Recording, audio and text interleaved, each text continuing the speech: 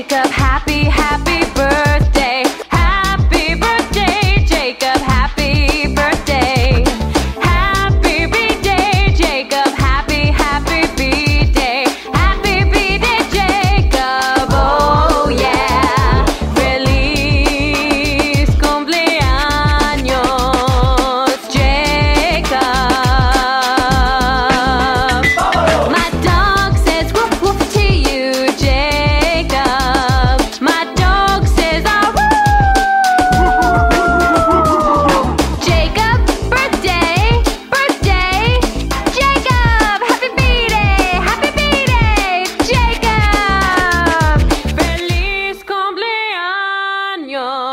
loves Jacob, yeah.